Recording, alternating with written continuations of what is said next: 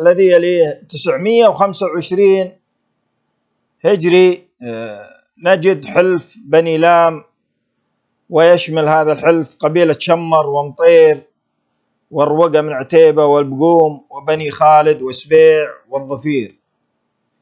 وكان هذا الحلف بقيادة بني لام وتفكك في النصف الثاني من القرن العاشر الهجري.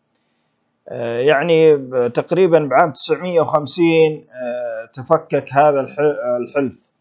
ذكر ذلك ابن إياس في كتابه بدائع الزهور. في عام 950 هجري في كتاب الإيجاز في تاريخ البصرة والحجاز ونجد في تاريخ البصرة والأحساء ونجد والحجاز. للمؤلف عارف بن مرضي الفتح نقلا عن كتاب بدائع الزهور لابن إياس.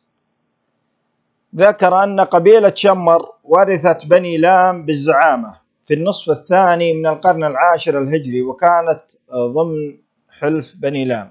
يعني ب 950 آه ورثت قبيلة شمر آه آه بني لام بالزعامة. في هذه الفترة نجد أن قبيلة شمر بدأت تظهر على الأحداث شيئا فشيئا.